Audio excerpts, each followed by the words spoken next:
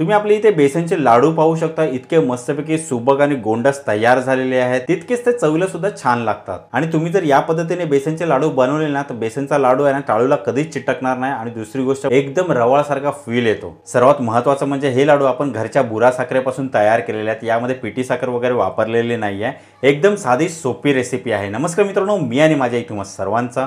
आजच्या रेसिपीमध्ये खूप मनापासून स्वागत करीत आहोत. आजची रेसिपी आहे बेसनचे लाडू. आणि तुम्ही पाहतात आपला घरचा स्वाद.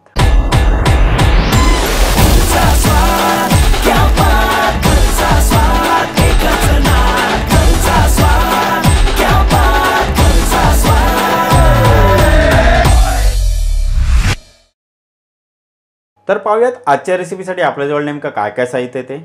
इथे मी घरी बनवलेली बुरा साखर घेतलेली आहे. त्यानंतर मी इथे बेसन घेतलेलं आहे आणि मी चक्कीतून ना रवाळसारखं पीठ दळून घेतलेलं आहे. आणि मी इथे बेसन तयार करण्यासाठी ताटा संपनची चण्याची डाळ घेतलेली. साजूक तूप मगज. मगज म्हणजे काय? खरबूजच्या बिया असतात ना त्याला मगज म्हणतात. डिंक दूध वेलची पावडर जायफळ आणि हा पिस्ता. मित्रांनो सर्व साहित्यांच्या प्रमाण तुम्हाला आपल्या डिस्क्रिप्शन बॉक्समध्ये पाहायला मिळेल आता पटकन आपण कृतीला सुरुवात करूया. आता सर्वात पहिल्यांदा आपल्याला पिस्ता आणि मगज आहे ना ते हलकंसं परतून घ्यायचं आहे. गॅस पेटूया. यामध्ये ना थोडंसं आपण साजूक तूप घालूया.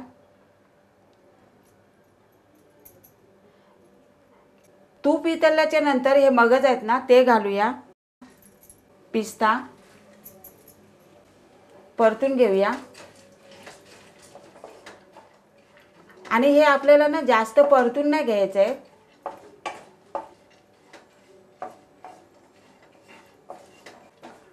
चला आता आपण गॅस बंद करूया आणि यांना ना काढून घेऊया एका ताटलीमध्ये.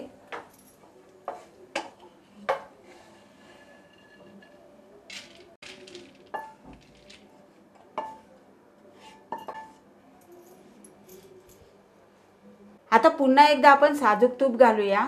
आणि हा डिंक आहे ना तो तळून घेऊया.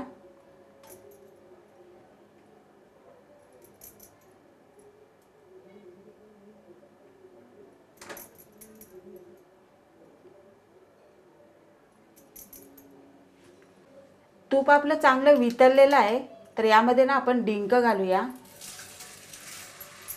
डिंक तळताना ना गॅस मिडियम ठेवायचा आपल्याला.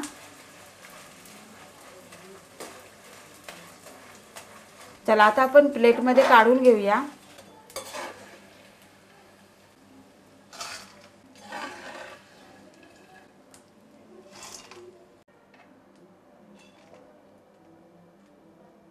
आता याच तुपामध्ये आपल्याला बेसन भाजून घ्यायचं आहे तर गॅस आपल्याला ना स्लोच ठेवायचा आहे.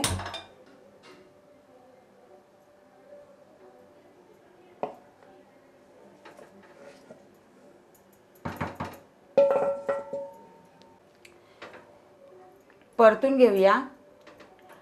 आणि आपल्याला ना जसजसं तूप लागेल ना तसतसं आपल्याला घालायचं आहे. एकदम पहिल्यांदाच घालायचं नाही.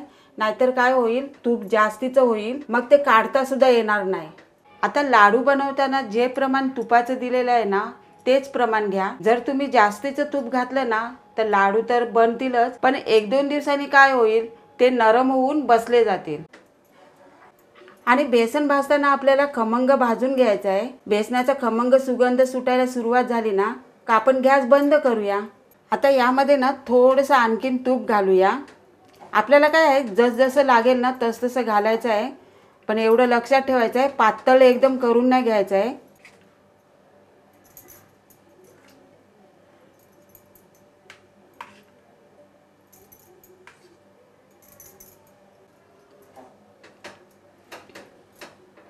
आणि बेसन भाजताना ना सतत ढवलत राहायचं आहे नाहीतर काय होईल? तलाला ना चिटकून सुद्धा जाईल आणि करपून सुद्धा जाईल. आणि शक्यतो याच्यामध्ये ना साजूक तूपच वापरा. तुम्ही डालडा सुद्धा वापरू शकता. पण साजूक तुपाने कसं? लाडू आहे ना तो चवीला लागतो. क्या बात आहे. आणि हे बघा असं चांगलं भाजलं पाहिजे. वा रंग सुद्धा खूप एकदम सुंदर आलेला आहे. तर आता काय करूया? ह्याच्यावरनं दुधाचा हापका मारत जायचा आहे आपल्याला.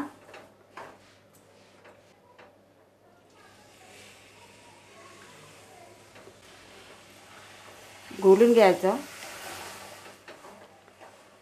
असा दुधाचा आपका मारला ना का पीठ सुद्धा चांगलं फुलून येतं आणि लाडू सुद्धा ना छान चवीला लागतो. जबरदस्त. चांगलं असं परतून घ्यायचं आहे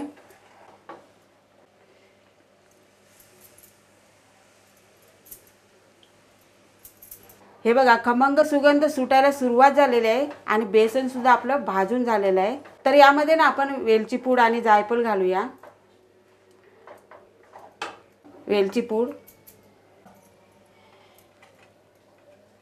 जायफळ असं किसून घेऊया.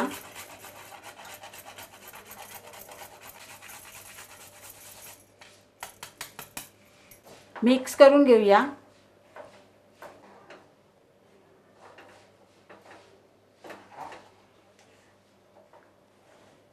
आता काय करूया आपण गॅस ना बंद करून घेऊया. आणि या बेसनला ना पूर्ण थंड नाही करून घ्यायचं आहे थोडंसं ना कोमट राहिलं पाहिजे. आणि हो आता एक लक्षात ठेवायचं आहे बेसन भाजलं ना गरम असताना आपल्याला बुरा साखर वगैरे नाही घालायची आहे. किंवा तुम्ही पिठी साखर घालत असाल ना ती सुद्धा गरम असताना घालायची नाही. कारण काय असतं गरम असताना साखर घातली ना तर ती वितलून जाईल. बेसन थोडंसं कोमट झालं ना की त्यानंतर आपल्याला साखर घालायची आहे. हे बघा आपलं बेसन आहे ना ते कोमट झालेलं आहे. आता यामध्ये आपण काय करूया? ही बुरा साखर आहे ना ती घालूया.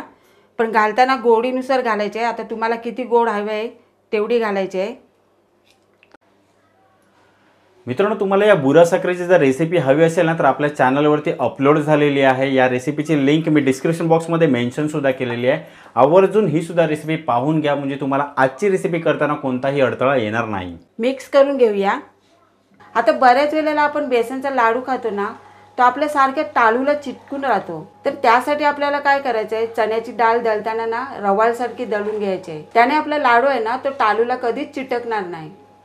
ही बघ आपली साखर आहे ना चांगली एकजीव झालेली आहे. तर आता त्यामध्ये आपण काय करूया? हा डिंक आहे ना तो घालूया. आता तुम्ही डिंक नाही घातला ना तरीसुद्धा चालेल. पण डिंक घालून बघा डिंकाने काय होते? लाडू छान कुरकुरीत लागतो. हा मगज आणि पिस्ता तो सुद्धा घालूया.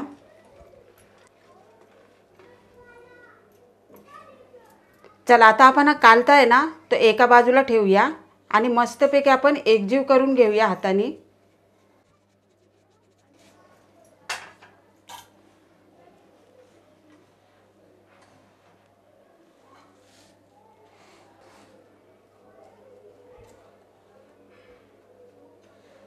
आता ना मी एक काम करते. हे सारण आहे ना ते एका परातीमध्ये काढून घेते. ह्याच्यामध्ये कसं चांगलं एकजीव करायला मिळत नाही. मित्रांनो हे साधारण एक किलोचं प्रमाण आहे. जर तुम्हाला ह्याच्या अर्ध्या प्रमाणात जर लाडू बनवायचे असेल तर अर्धा किलोचं प्रमाण सुद्धा मी डिस्क्रिप्शन बॉक्समध्ये मेन्शन केलेलं आहे. आवर्जून ते सुद्धा प्रमाण एकदा पाहून घ्या. चला आता आपलं लाडूचं सारण एकजीव झालेलं आहे. तर आता आपण काय करूया? लाडू वळवायला सुरुवात करूया. आता तुम्हाला लहान किंवा मोठे करायचे असतील त्या आकाराचे तुम्ही करू शकता. अशाच नवनवीन आणि घरगुती रेसिपींसाठी घरचा स्वाद हे चॅनल नक्की सबस्क्राईब करा.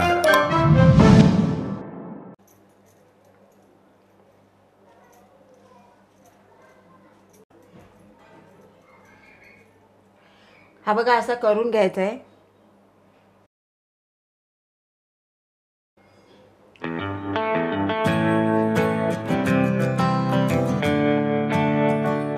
हे बघा मी सर्व बेसनचे लाडू तयार करून घेतलेले आहेत. आता हे लाडू आहेत ना वीस ते पंचवीस दिवस तुम्ही आरामात खाऊ शकता. थांबा हा मी तुम्हाला तोडून सुद्धा दाखवते. हा बघा लाडू किती सुंदर झालेला आहे. कुठेही पातळ नाही झालेला आणि तुम्ही पाहू शकता किती रवाळ सुद्धा झालेला आहे.